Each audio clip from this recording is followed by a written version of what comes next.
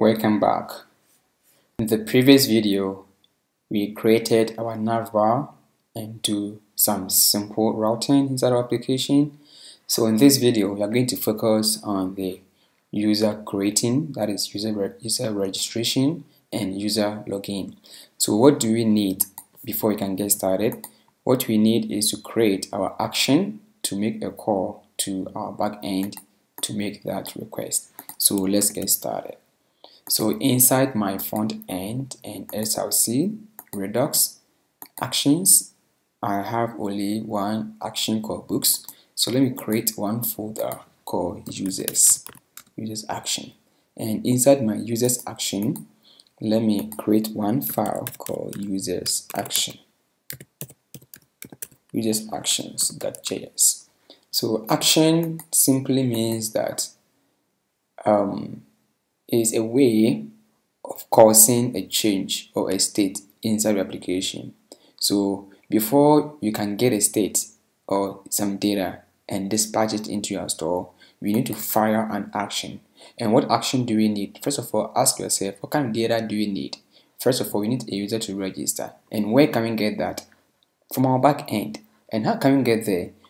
Through an action. An action will take the data from the front end, like a car, and then we give our data to that car, that's our action, and then it will go to the, our back end behind the scene to fire or to make a request to that endpoint and our server respond with that request and give us a response.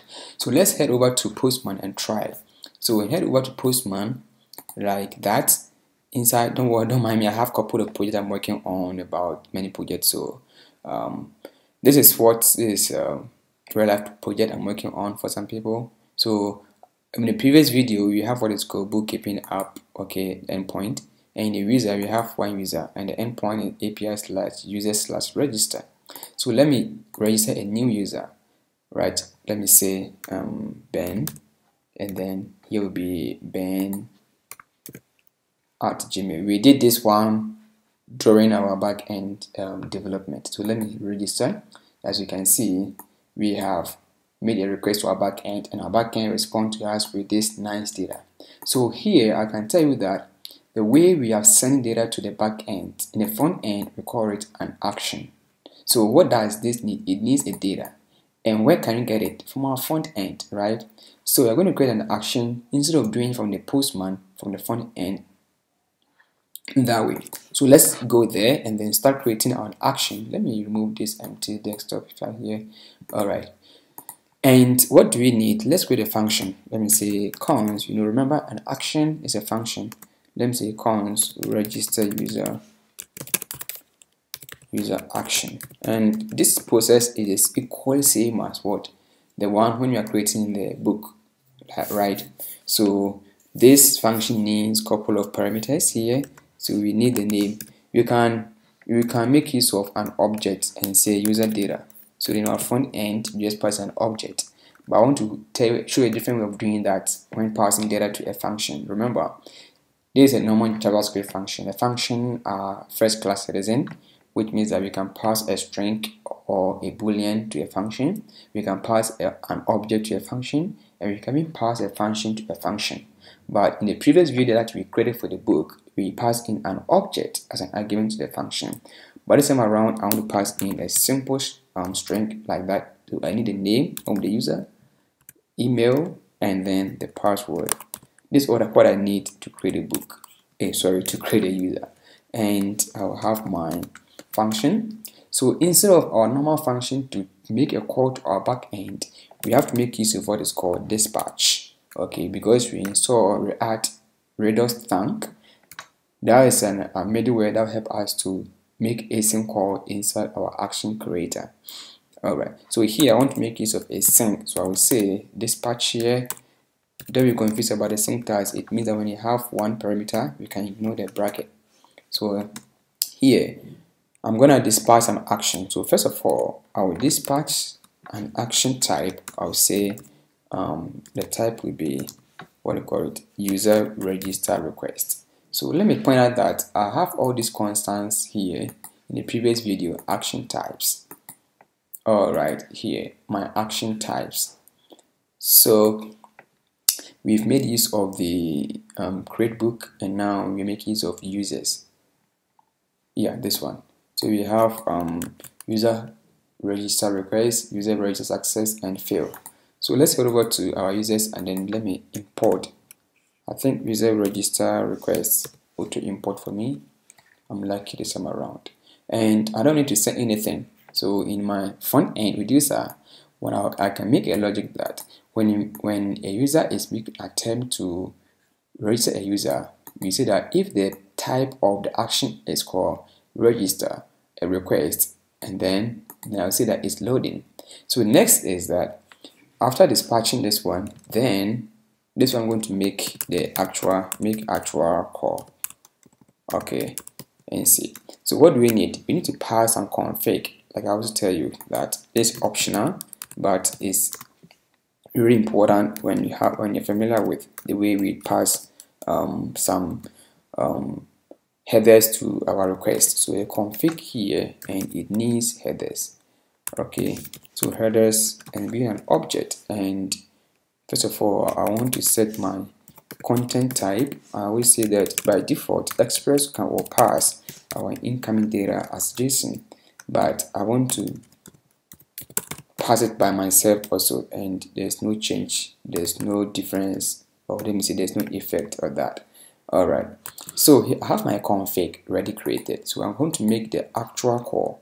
So I will say cons and I will say response is equal to uh, await and what do I need? My Axios. Let me import it here.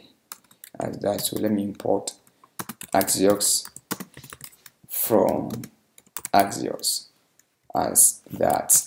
All right so here I will say axios.post because I want to make post requests. Sorry it's not axios.post and what is the endpoint? That we have toggle that is the API slash user slash register because I have proxy this one inside my front end from my previous video. So I can copy the route here and then come back to my code and then put it here. It's API, it's slash API. So look at the pathway. And I'll pass in my config first, right? I'll pass in my data, sorry, first. And um, Axios requires to be an object, right? So I can pass in an object with some properties. So this is what's coming from the front end. So first of all, I require name. From here it says if the names are the same, value and the key are the same, you can ignore the name. And the email, and then the password right and then the last parameter I pass in is my config right? Like that. So I have it done. So what will come out from this request is this. When you go to postman this is what we have. So and this is on the property called data. So I can quickly destructure that one from my request here and I'll grab data right? So when everything goes on well, then I can dispatch my action. So here I will say dispatch an action of type is really important is user register success. Sorry, not login is user register. User register success. User register success. Alright, and I have to send a payload of the data that is coming back. Remember, the data can be an error. So let me try and register again. As you can see, I have nice internal server error, which is user exists. Right, so I have to handle that error. So I have to put them, I always forget my try and catch. So let me copy all of these ones um, from my dispatch here everything from my function and then cut it to clipboard I think I missed I wrongly copy some so let me copy from dispatch between my dispatch so here from here to um, from all the dispatch let me cut it and then let me put them into try and catch. And then put the request here and inside my catch I have to catch an error that is coming. So the same thing, dispatch an action if something goes wrong, and I will say type will be user register fail. Alright, and then I will send a payload. Like I told you, payload can be an error or the actual data. So I'll pass in the error like that. So in my in my reducer, I can grab the necessary error that is coming from this payload. Alright, so guys, this is how we create. But um, one more step about the registration is that I want to put, I want to quickly register the user when a, when a person, sorry, I want to quickly authenticate the user or log in the user when a person registers for the first time. So what I can do is I have to save the login details, details into my local storage. So if you look, sorry guys, so if you look, let me log register with a new person here with Ben and then this one, whatever. And you can, you can see I have this token so I want to save this token and the whole of this user into my local, uh, sorry, uh, what do you call it, uh, local storage. And then I will pull it from my local storage and then place it inside my store. So anytime I will check from my local storage, if there's a user, then I will quickly log in the user. Otherwise, I'm allowed to log in. So I'm going to save all this information inside my, what do you call it, um, inside the local storage.